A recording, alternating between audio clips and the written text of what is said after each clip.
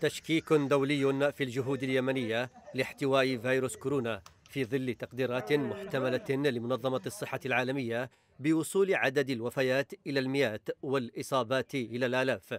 الصحة العالمية وعلى لسان مدير قسم الطوارئ الإقليمي فيها أكدت وجود نقص كبير في التقدير المحلي لتفشي الوباء وهو ما قد يعيق الجهود الدولية المبذولة لإدخال الإمدادات لليمن. التي تعاني من نقص في تمويل البرامج الصحية. تأتي اليمن في سلم منخفض جدا في اختبارات التحاليل الخاصة بفيروس كوفيد 19 حسب لجنة الإنقاذ الدولية التي قالت إن اليمن أجرت 31 اختبارا فقط لكل مليون شخص وهو ما يشكل قلقا كبيرا كون الاحتياجات لإجراء الفحوصات تزداد بشكل يومي.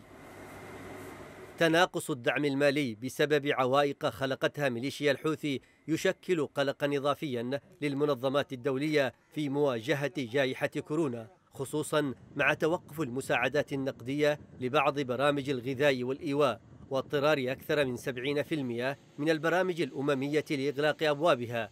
وقد خفض برنامج الغذاء العالمي حصصه إلى النصف بينما تحدثت المفوضية السامية للأمم المتحدة عن إنهاء شراكتها مع منظمات محلية ما يعني ترك أكثر من 1500 موظف دون حوافز وفق وكالة أسوشيتد بريس الدولية.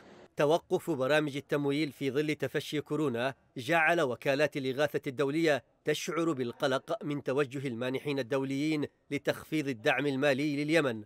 وهو ما يعني تقليل الالتزام تجاه بلد يعيش أسوأ أزمة إنسانية في العالم وفق الصحة العالمية التي أكدت على أن اليمن يتجه ليصبح الأشد ضعفا بين البلدان الأكثر ضعفا في العالم.